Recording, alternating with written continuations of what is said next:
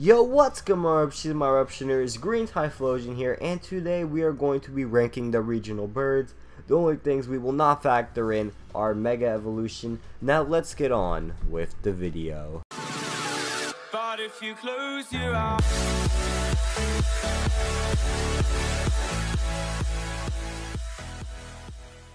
The worst regional bird is Pidgeot. This is an easy decision. All the birds take 25% or more from Stealth Rock, so that's not a real factor. This bird is the worst because of its average stats. It has a decent speed of 101. It can only outspeed base 100 Pokemon and under, but most of those Pokemon have the bulk with that little speed. Pidgeot has nothing to back it up. It cannot hit hard enough with its below average attack, and it can't take any hit with average defenses. It has a decent move pool for a physical attacker, and the best coverage move it gets might be Heat Wave. To keep it short, this Pokemon is just an average to below average bird. The next bird on this ranking is Unfezant. This Pokemon is like a slightly better Pidgeot. It just has less speed and a pretty good 115 attack. This Pokemon could actually be good, but it can't do anything with its attack. The best flying type move it gets is Sky Attack, but that takes two turns to charge up, and Pheasant is too frail to sit there for that long. Now, what does put this Pokemon above Pidgeot is that it has a pretty good kit. It has some fun moves like Hypnosis, and it has a unique ability in Super Luck, which can give you a good chance to crit. Basically, this is just a slightly better Pidgeot. Now we're getting into decent Pokemon. This first decent Pokemon is Noctowl.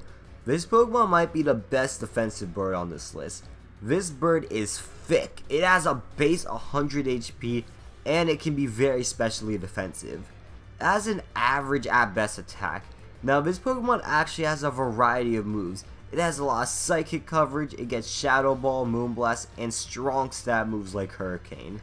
This Pokemon has strong moves and all this is great. It even has a good kit for being defensive with Roost Toxic and even Hypnosis and Whirlwind. The only thing that's truly holding this Pokemon back is that it can't hit hard enough with its attack stats. Next is the Pokemon that would have been number one if this list was made four years ago. I'm talking about Talonflame. Now, it's still really good, and Gale Wings is a pretty good ability. You can get a turn 1 max power Brave Bird with priority or a supersonic Sky Strike. You could even use acrobatics. This Pokemon has something that none of these Pokemon have, Fire Stab, and a lot of Fire type coverage. While most of the birds here do get Heat Wave, Talonflame has Flare Blitz, Flamethrower, and it also has Will-O-Wisp. So this Pokemon can go offensive like it used to, but it can also go and take on the new role of a defensive Pokemon with Roost, Will-O-Wisp, and so many more. So this Pokemon is pretty good, but taking 50% from Stealth Rocks definitely killed it. So this Pokemon may have gotten nerfed to the ground, but it's still pretty good. Next is the newest bird, and that is Toucannon. This Pokemon has a really nice attack stat of 120. It may be slow, but it has enough bulk to where its speed isn't really hurting it that much. Now, what makes this Pokemon great is its abilities and coverage. It has Skill Link, which goes well with its moveset, or you can run Sheer Force, one of the best abilities in the game. For coverage, you have Rock Blast, Bullet Seed, Gunk Shot, and so much more. This really is one of the best birds on the list. This Pokemon hits like a truck and can take a hit.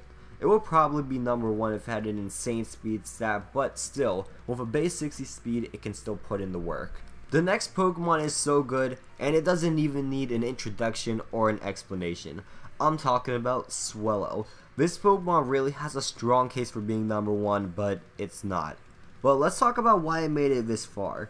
It can hit you in two devastating ways. It can hit you with a Guts Flame Orb on the physical side with Brave Bird and a Stab Facade, or it can hit you on the special side with a Choice Specs Stab Boomburst. What makes this Pokemon even better is it has an insane speed stat around the 120s. So to sum this Pokemon up, it hits like a truck, it's fast, and it's just amazing number one Pokemon, in my opinion, and it definitely deserves it on this ranking, Staraptor. This Pokemon is just amazing. It has coverage that all the other Pokemon need. It has close combat. This move definitely put it over Swellow. Besides that, it has two crazy good abilities. Reckless, which is just a match made with its moveset. This Pokemon relies on strong recoil moves like Brave Bird and Double Edge, so having an ability to boost it is great. Next, it has the best ability in the game being Intimidate. Now, this Pokemon can hit you like a truck and has just enough speed where if you put a Choice Scarf on it, it can do some major damage. Overall, Staraptor is just the strongest bird out of them all. Okay guys, that is the video. Make sure to subscribe and comment your opinions down below. Was I right? Was I wrong? Give me your personal list. As usual, watch some more videos, but more importantly, have a good day.